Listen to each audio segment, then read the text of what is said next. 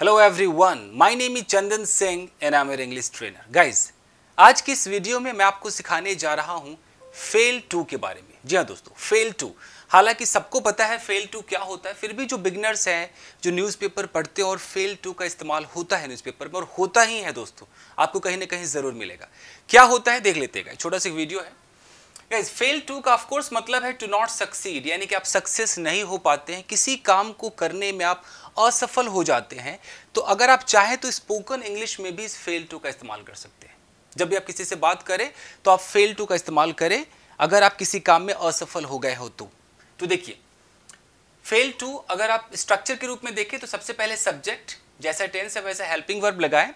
आप फेल है तो फेल फेल्स फेल्ड आप कर सकते हैं। तो फेल टू फिर वर्ब की फ़र्स्ट फॉर्म ऑब्जेक्ट। जैसे, एक सेंटेंस है कि this company has failed to convince its consumers यानी कि ये जो कंपनी है, वो फेल हो चुकी है। ये प्रेजेंट परफेक्ट है कि फेल हो चुकी है। क्या करने में फेल हो चुकी है?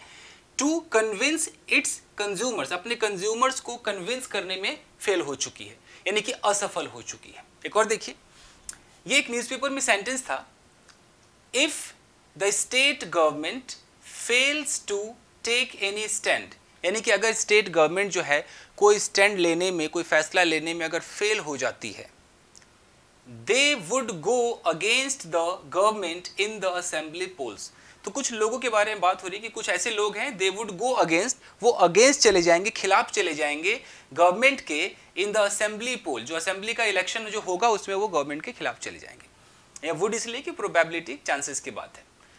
तो ऐसे भी इस्तेमाल होता है इसका। एक और आप स्पोकन इंग्लिश में ऐसे बोल सकते हैं कि she failed to arrive on time यानी कि उसे समय पर आना था, लेकिन समय पर आने में वो फेल हो गई यानी कि असफल हो गई तो किसी काम को करने में आप फेल हो गए तो आप फेल के बाद टू का इस्तेमाल करेंगे।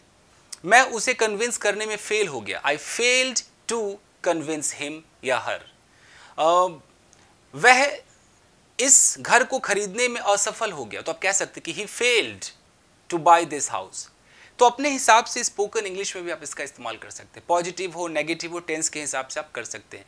कि क्या तुम उस घर को खरीदने में फेल हो गए? Did you fail to buy that house क्या तुम उस लड़की को कन्विंस करने में फेल हो गए? Did you fail to convince that girl ऐसे करके आप बात कर सकते हैं तो एक छोटा सा वीडियो है फेल टू के बारे में। आई होप आपको पसंद आया होगा। तो आज के लिए बस इतना है। मिलते हैं अगले वीडियो में। Till then take care keep practising and have fun अगर आप चाहें तो इसका एक स्क्रीनशॉट ले सकते हैं फ्रेंड्स थैंक यू गाइस